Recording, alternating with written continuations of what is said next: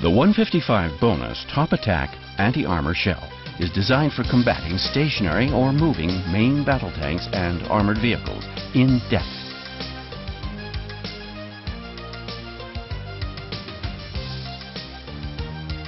Each 155 bonus carrier shell contains two sensor-fused armor-detecting submunitions. It's fired from a 155mm artillery gun. With a base bleed unit and a 52 caliber barrel, the bonus's range is 35 kilometers. Two cylinders holding the submunitions are ejected from the shell during the transition phase 800 to 2,200 meters above the target area. Velocity and rotation are reduced. The submunitions are expelled from the cylinders and stabilized before the terminal phase. The wings and the multiband sensor unfold.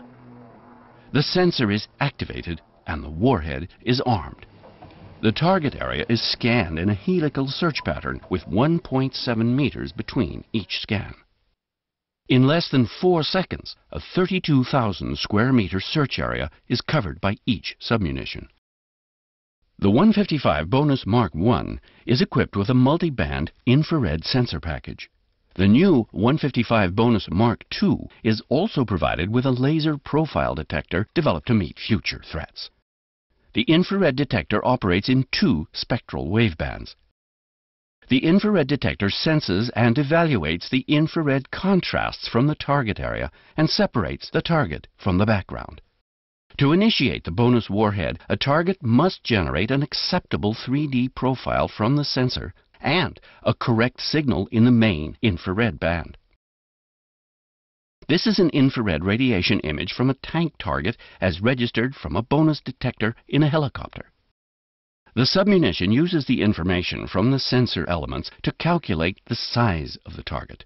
An object with a wrong size is characterized as a non-target and is rejected. An object is also rejected if its 3D signature is too high, too low, or too wide.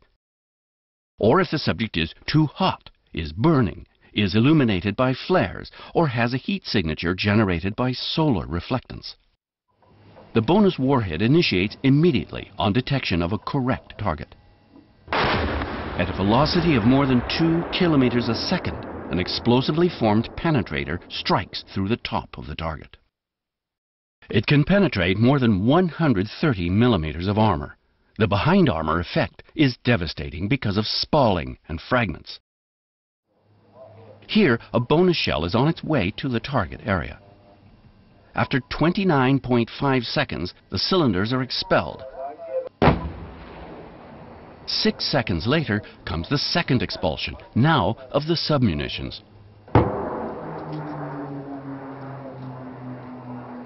The submunitions stabilize and the search phase starts.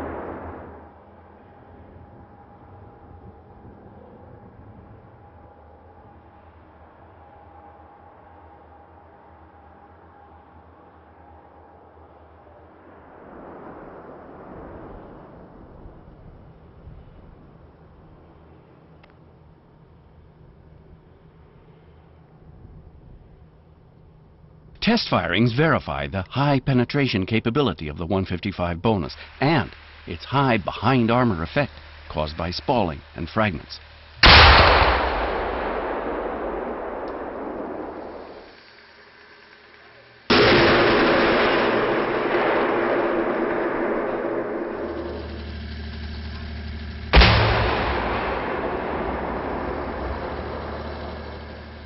The result?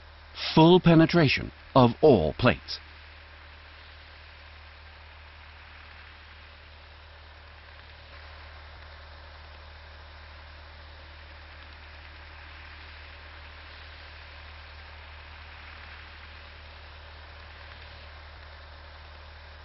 In this freeze frame from the hit, the devastating cloud of fragments can clearly be seen.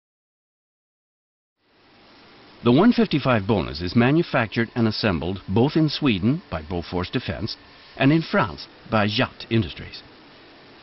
The entire production process is characterized by high quality, high precision and high safety in compliance with the strict specifications for the 155 bonus. Here, a warhead subsystem is being produced.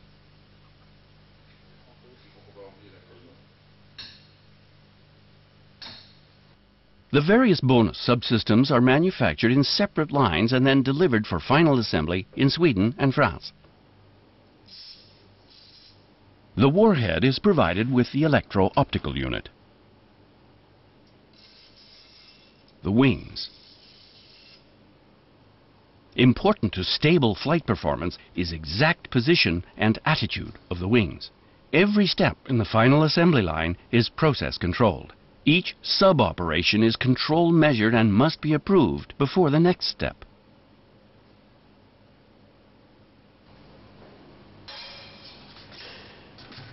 The safety and arming unit is locked in secured position by the cylinder's body.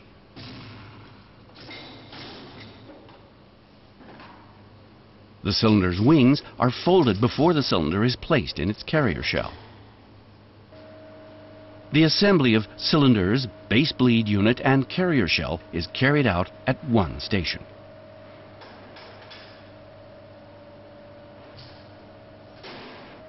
The cylinders are placed in the carrier shell.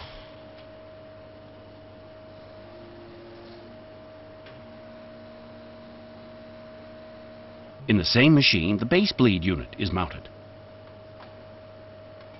Finally, the shell's ogive containing expulsion charge number one is mounted.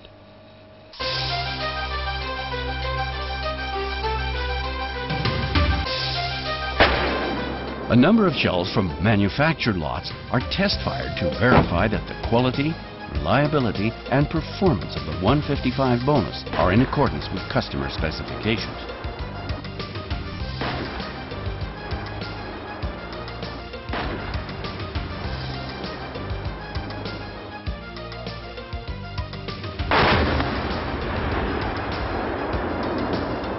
The 155 bonus has proved itself to be an effective weapon against main battle tanks and other reinforced armor units in depth. It finds and kills its target without warning in any environment.